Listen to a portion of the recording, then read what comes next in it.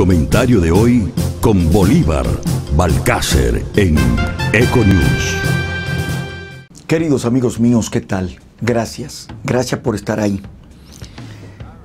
En las últimas horas, el mundo está atento a una caravana de inmigrantes que se dirige a los Estados Unidos saliendo desde Honduras, cruzando por Guatemala, amenazando a México, y el objetivo es llegar a los Estados Unidos de América.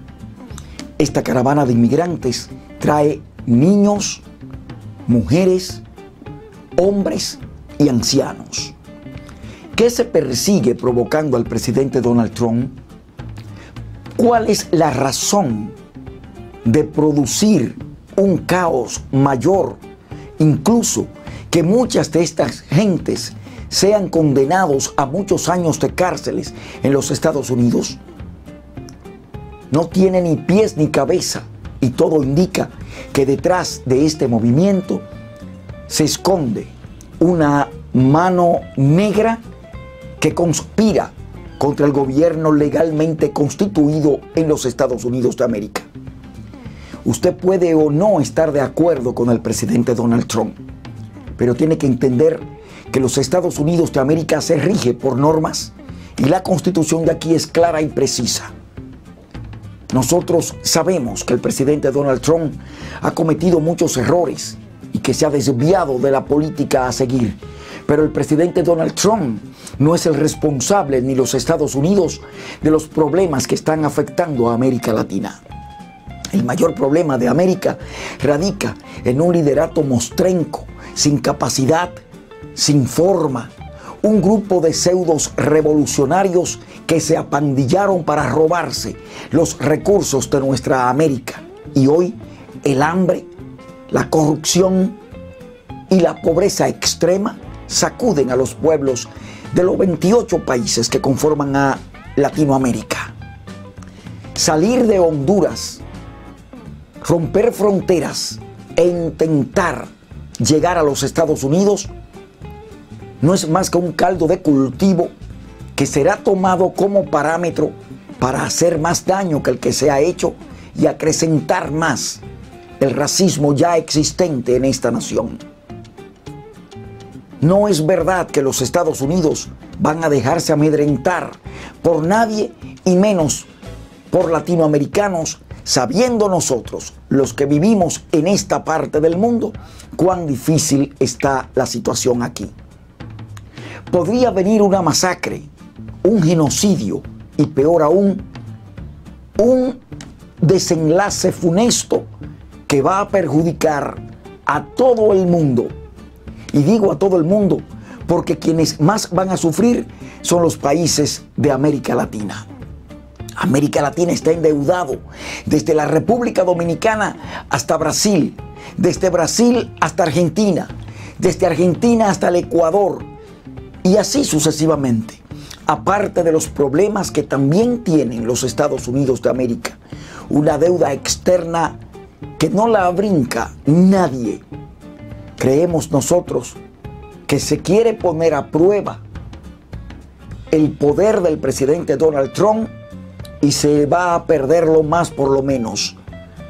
No saben los hondureños y el grupo que le acompaña el peligro que acarrea querer cruzar las fronteras hacia los Estados Unidos porque el gobierno podría apelar al recurso del terrorismo, alegando que en esa caravana que se dirige a los Estados Unidos vienen gente con el objetivo de hacerle daño a esta nación.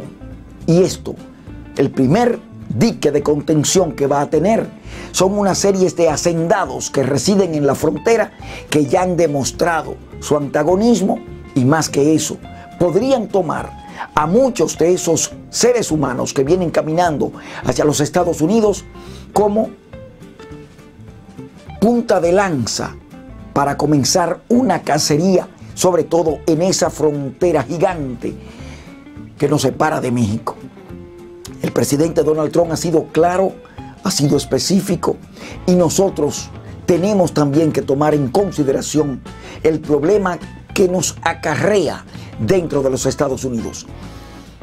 De darse lo que se está proponiendo, va a haber una hecatombe de la cual se van a lamentar todos los gobiernos de América Latina. Oigan que se lo digo.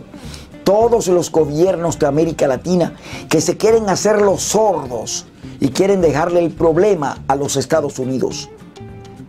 Problemas que se lo han ganado los líderes de nuestra América.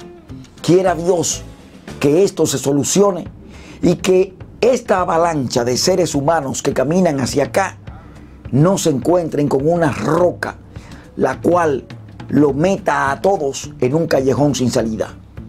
La caravana, que según los organizadores está conformada por miles de personas, se formó en la ciudad hondureña de San Pedro Sula el sábado y cruzó a Guatemala el lunes. Guatemala detuvo a uno de los coordinadores de la caravana el martes, dijo una fuente del gobierno guatemalteco, pero otros miembros de la caravana seguían caminando hacia el norte. Hay quienes alegan que sectores encabezados por George Soros, enemigo personal del presidente Donald Trump, estaría subvencionando parte de esta caminata. Esto no está confirmado, pero son decires en diferentes círculos internacionales. La misma situación se da con la gente de Hillary Clinton que están enfrentando al presidente Donald Trump y podrían también estar pescando en río revuelto desde América Latina, específicamente desde el Caribe, usando a la República Dominicana que se ha prestado para todo en los últimos años y al pueblo de Haití, al gobierno de Haití, donde este fin de semana también han pasado problemas con el presidente Juvenal y con el pasado presidente Martelly. La supuesta caravana que pretende llegar a suelo norteamericano va a tener muy de frente a un ejército que no le temblará el pulso para cometer desafueros y el presidente Donald Trump en más de una ocasión ha demostrado que no le importa un pepino el latino y que no le importa un pepino el negro. Y con él ha crecido el racismo, pero con él también puede haber un genocidio en la frontera si se sigue provocando al monstruo que está dormido. Gracias. Gracias por acompañarnos. Los espero en una próxima entrega, en cualquier momento, aquí en Nueva York es otra cosa. Hasta entonces, no se olviden de visitarnos en martilloyclavo.com. Gracias.